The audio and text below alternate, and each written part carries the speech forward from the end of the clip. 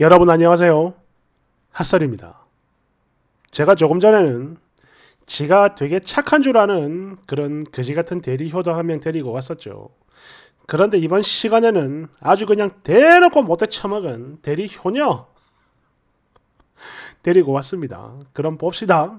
제목 아프고 불쌍한 우리 부모님 합가해가지고 좀 모셔라 이랬더니 아예 대놓고 돈을 달라는 큰 며느리 이거 미친 거 아니에요? 고소하면 우리가 이기죠? 원제 모시는 값 공증받아 달라는 큰 며느리 참고로 이 글은 벌써 지우고 도망을 갔습니다. 그래서 박제가 된 걸 가져온 건데요. 원본 지킴이가 한 말이 있거든요. 보고 갑시다. 원본 지킴이의 변. 아, 이 거지 같은 거. 야, 내가 어제 너한테 분명히 이야기했지. 이미 캡처했으니까 이제 글 지우고 도망가도 소용없다고 절대로. 그런데 이게 사람 말을 똥으로 듣나? 결국 글삭티 해버렸네. 도망을 가버렸어. 그래도 그래. 머리통이 달려있으니까 부끄러운 줄 아나 보다. 여하튼 너 아직 멀었으니까 여기 박제된 상태로 오래오래 아니 영원히 욕이나 처먹어라. 자, 퇴! 본문. 어, 이게 그래도 저희 집안일이고 너무 막장이다 보니까 동네 창피해서 어디 진짜 하소연도 못하고 있거든요. 근데 상황이 진짜 너무 답답하고 거지 같고 끝까지 답이 안 나오니까 이렇게 익명 게시판으로 들어왔고요. 조언 좀 해주세요. 일단 저희 아버지 이제 곧 팔순이시고 저희 어머니도 70대 후반 들어섰어요. 자식은 이남 일녀로 저는 큰 딸입니다. 죄송합니다. 그냥 딸입니다. 제가 잘못 쓴 거예요. 이남 일녀예요. 부모님 두 분 다 그렇습니다. 무릎 관절이 같은 연배 다른 어르신들에 비해서 조금 안 좋은, 아니, 많이 안 좋으세요. 예, 예. 딱히 다른 지병은 없는데, 그냥 관절 자체가 너무 안 좋다 보니까, 집안일은 물론이고, 당신들 혼자 돌아다니는 것도 좀 무리예요. 그래서, 저희 자식들 중 누군가는 모셔야 할 그런 상황이 온 겁니다. 그래서, 이걸 어쩌면 좋겠느냐라고 제가 먼저 두 분께 여쭤봤더니, 일단, 내가 오빠 집으로 가고 싶다. 이러시더라고요. 그러면서 엄마가 친히 오빠한테 연락을 했고, 다 모인 거죠. 장남과 큰 며느리한테 직접 이런 이야기를 하셨어요. 나 너희 집 가고 싶다. 이렇게. 그런데 여기서 정말 미친 거지 같은 경우를 다 보네요. 세상에 모르는 옆집 아줌마도 아니고 큰 며느리라는 사람이 자기 시어머니한테 대놓고 이런 소리를 했어요.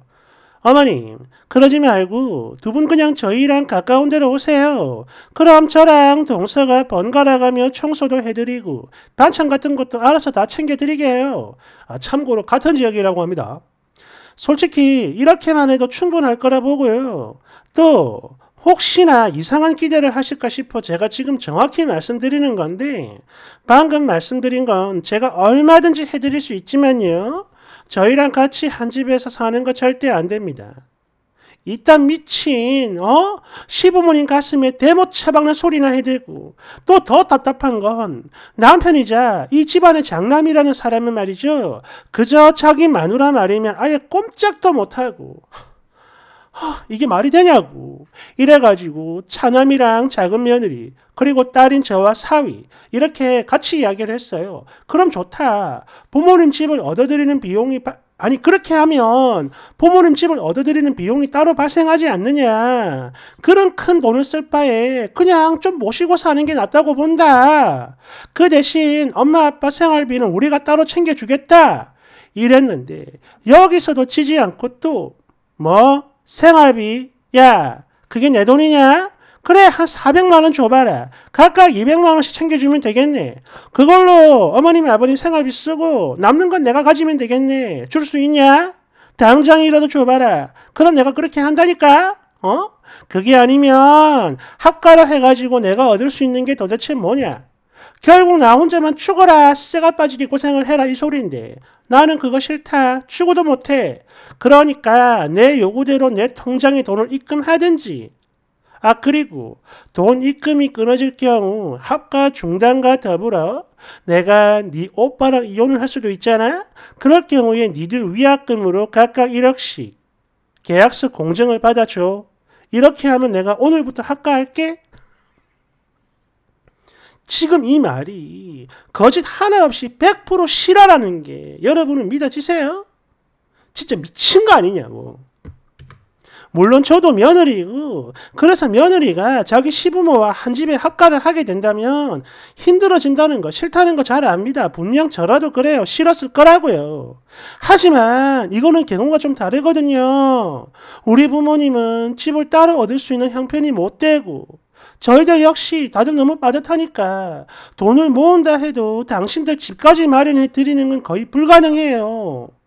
그리고 이 그지 같은 큰 며느리도 이런 사정을 절대 모르지 않는다 이거예요. 이게 너무 괘씸해. 여하튼 그래가지고 그런 보증금 목돈 마련은 당장 못한다. 절대 무리다. 각자 우리가 매달 생활비 얼마씩 떼가지고 보태겠다. 그럼 되는 거 아니냐? 이렇게 얘기를 하는데도 아니 자기 통장이 왜 나와? 그리고 가족끼리 무슨 공증이야.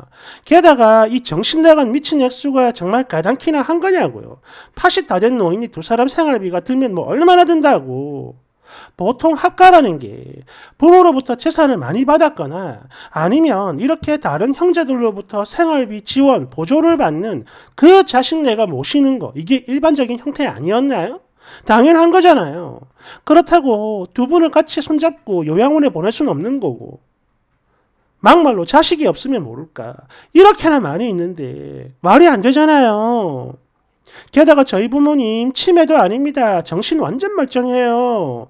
그냥 거동이 조금 불편할 뿐이거든요. 조금 더 정확히는 부모님 두 분만 지내시기에 힘겨울 정도다 이건데. 근데 이게 무슨 옆집 할매, 할매, 할매, 할배도 아니고 세상에 이딴 소리를 하는 며느리가 있나요? 저희 오빠요. 좋은 직장 다녀요. 그리고 이 큰 며느리는 주부입니다. 그렇다고 자식이 많은 것도 아니야. 꼴라 하나 있고 그것도 이미 19살 고등학생이라 다 컸어요. 손도 안 가거든. 지가 알아서 다 해요. 게다가 액수도 액수지만 이거를 오빠 통장이 아니라 지 통장으로 받겠다는 신보는 뭡니까? 이거 횡령 아닌가요? 아니 지가 뭔데 그걸 받아요? 와 진짜 어이 터지는 게 너무 짜증나가지고 결국 대판 싸웠는데 자긴 절대 죽어도 그냥은 안 할 거래요. 돈 달래요.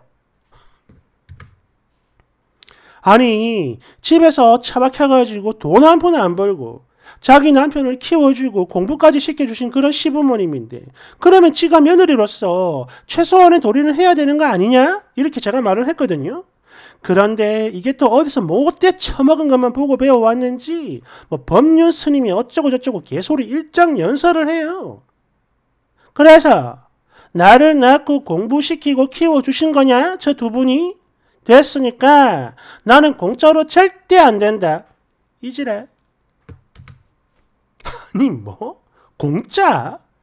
지금 우리가 뭐 살아도 뽑는 줄 아는 거야 뭐야.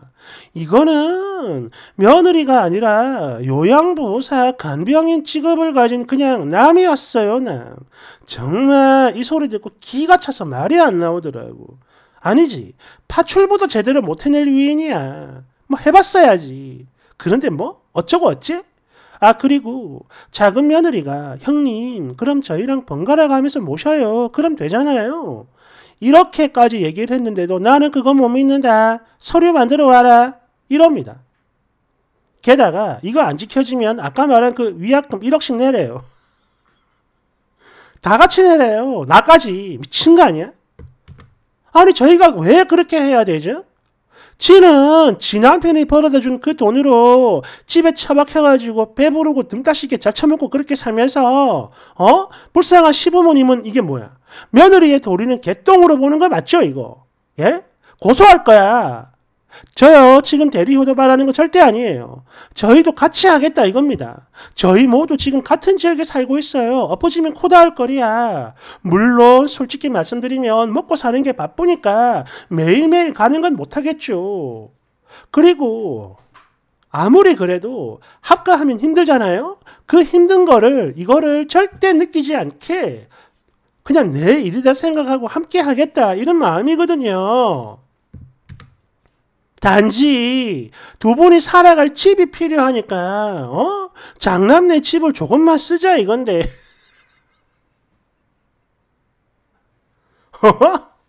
뭐? 공증? 이런 그지 같은 걸 요구한다니 이게 사람 새끼입니까? 만약 이혼을 하게 된다면 이거 큰 며느리 유책 맞죠? 정말이지 할 수만 있다면 이대로 고소라도 확 때려버리고 싶거든요. 끝으로 그래요. 여기 계신 여러분들 진짜 싫어하는 거 잘 압니다. 저도 싫어해요. 그지 같은 것들 이야기 올라오면 거기 욕 댓글도 달고 같이 욕도 하고 그럽니다.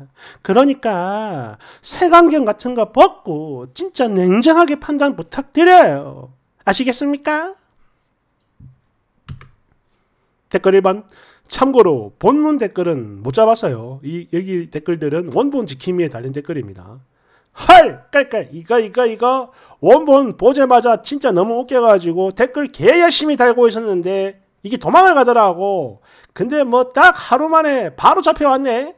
도살장에 끌려가는 개처럼 끌끌끌. 아니 자식인 찌도 안 모시는 주제에 왜 남의 집 딸내미한테 절 알지를 하는 걸까? 끌끌끌끌.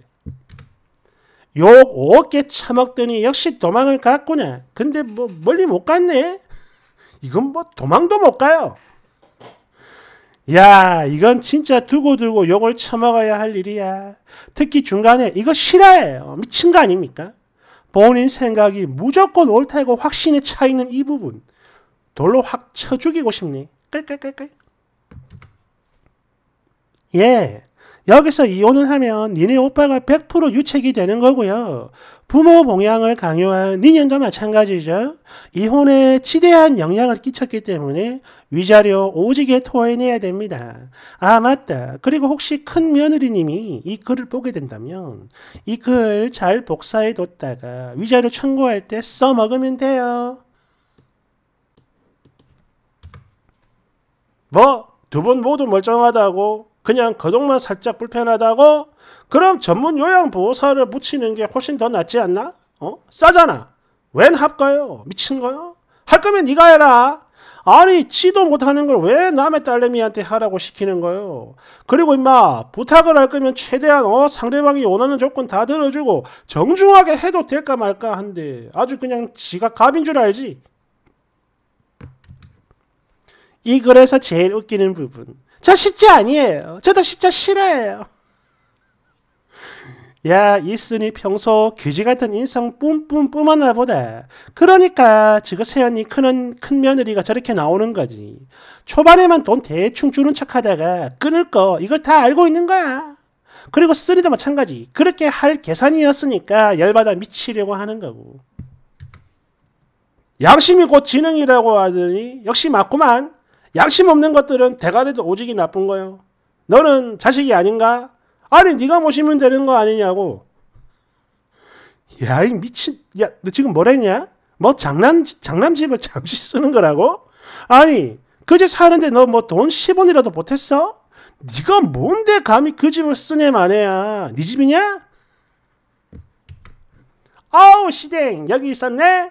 없어져가지고 내가 한참 너 찾았잖아. 어제 못 준 거 지금 준다. 자, 받아라.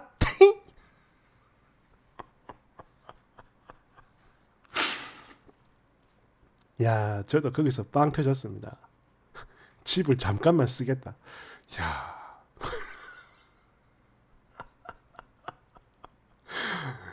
아니 저는 아까 어제도 그런 말을 했죠. 저는 그 지가 착한 줄 아는 악인들을 정말 싫어한다고. 그리고 아까도 그런 생각을 하면서 가져온 글인데요. 이걸 보니까 야 이것도 만만치 않네.